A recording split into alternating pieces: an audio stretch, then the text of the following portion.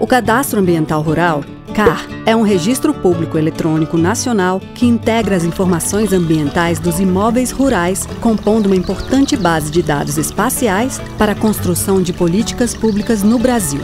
Os produtores rurais fizeram a sua parte na etapa de inscrição no CAR. Foram mais de 6 milhões de imóveis rurais cadastrados no SICAR, o Sistema de Cadastro Ambiental Rural.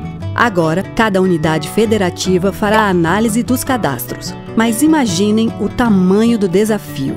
Em alguns estados, seriam necessárias décadas para que todos os cadastros fossem analisados. Pensando nisso, o Serviço Florestal Brasileiro desenvolveu um sistema de análise dinamizada do CAR.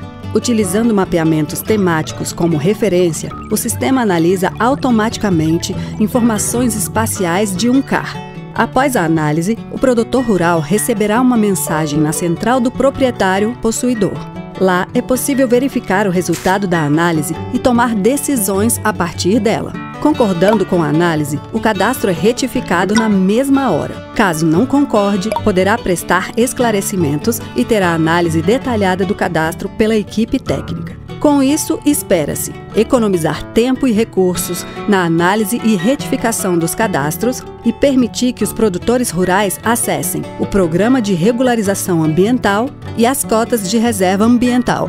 Então, se você é produtor rural, fique atento. Acesse a central do proprietário possuidor para acompanhar a condição do seu cadastro.